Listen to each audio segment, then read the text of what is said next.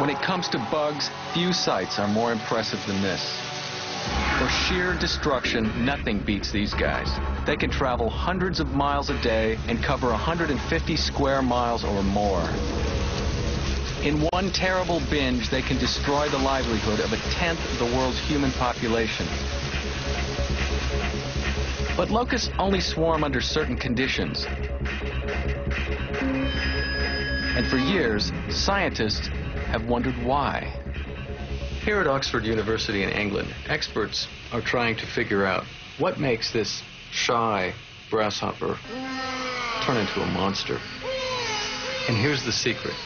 When locust numbers increase, something switches in this bug's brain that says swarm. See this area on the hind leg? All it takes to tweak this individual into swarm mode is for me to rub its leg for five seconds every minute for the next four hours. Essentially, I'm recreating what happens in the wild. When locust numbers increase and food sources dwindle, it forces solitary locusts to come together, be social, and rub up against each other.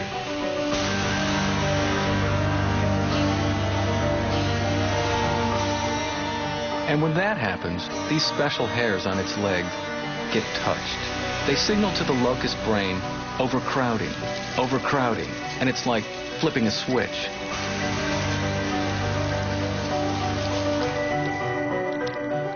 Over the coming weeks, it will molt five times, change color and shape, and become social, very social.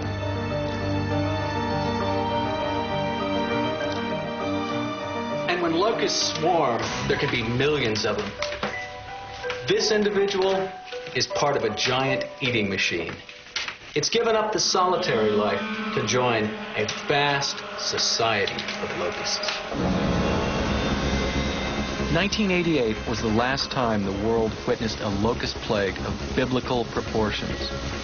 Sweeping through 20 African countries, they destroyed everything in their path. It started in the southern region of the Sahel. Then the locust rapidly spread east to Morocco and Tunisia. They caused staggering levels of damage, affecting millions already suffering famine from years of drought.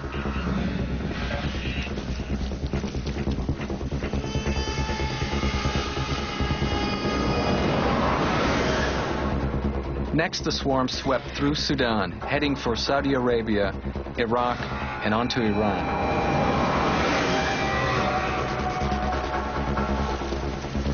Today, desert locust levels remain low.